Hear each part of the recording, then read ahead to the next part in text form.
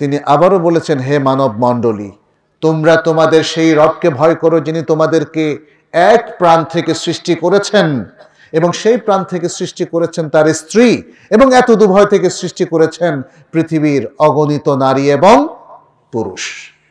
আল্লাহ একবার আমাকে আপনাকে কে সৃষ্টি করেছেন?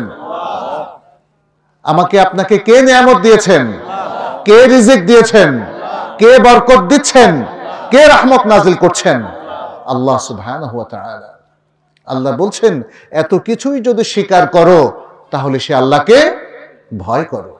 সে আল্লাহর তাকোয়া অবলম্বন করো। আজকে তাকোয়া হয়ে গেছে আমাদের কেতাবি তাকোয়া অথবা পোশাকি তাকোয়া আমাদের অনেকেই মনে করছেন যে দাড়ি, টুপি আর লম্বা জব্বা পড়লে তাকোয়া অর্জিত হয়ে গেল।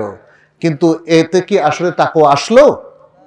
আমরা আজকে সে বিষয়টা নিয়ে একটু আপনাদের দৃষ্টি আকর্ষণ করতে চাই। মনে রাখবেন তাকোয়া হচ্ছে মোমেনের সেই নেয়ামত, সেই ভূষণ, সেই বৈশিষ্ট্য যেটা দিয়ে তারা সারা পৃথিবীকে চেঞ্জ করে দিতে পারে।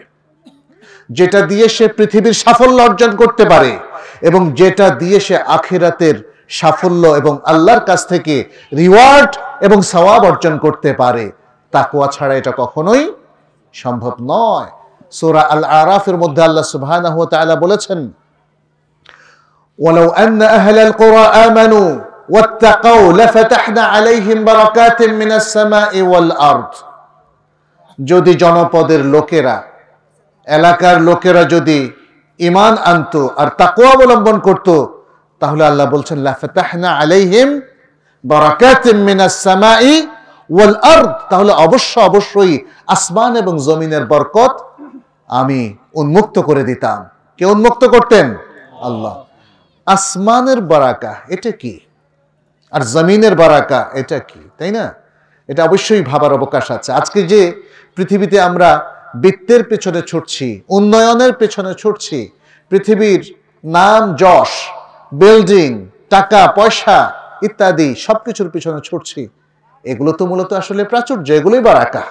এগুলোই বারাকা। বারাকা দুরকম একটা হলো প্রাচুর্যগত বারাকা, সম্পত্তি, আর আরেকটা হচ্ছে সব কিছুর মধ্যে আল্লাহর রহমত থাকা। এটা বারাকা।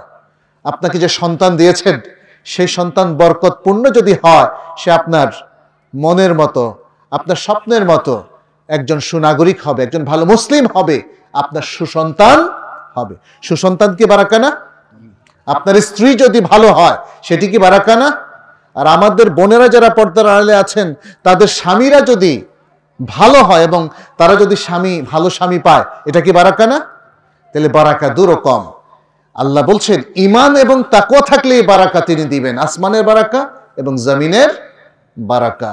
এর দ্বারা বোঝা যায় যে আসমান, জমিনের পৃথিবীর যত যত বেনিফিট আছে, যত কল্যাণ আছে, যত ভালো কিছু আছে, সবকিছু ইমান এবং তাকওয়ার সাথে শর্তায়িত। যদি ইমান না থাকে, তাহলে কি তাকুয়া আসবে? আর যদি ইমান থাকে, তাকওয়া না আসে, তাহলে কি মানুষ ভালো হতে পারে? একজন ব্যক্তি গোপনে সে মানুষের কাছ থেকে ঘুষ খাচ্ছে। কে তাকে বাধা দেবে বলেন তো?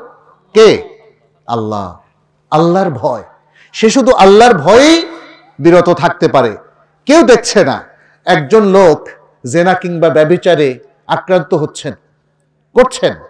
গোপনে ভাবছেন কেউ দেখছে না। আসলে কে দেখছে? আল্লাহ। তিনি কখন এর থেকে বিরত হবেন? যখন তিনি আল্লাহকে ভয় করবেন।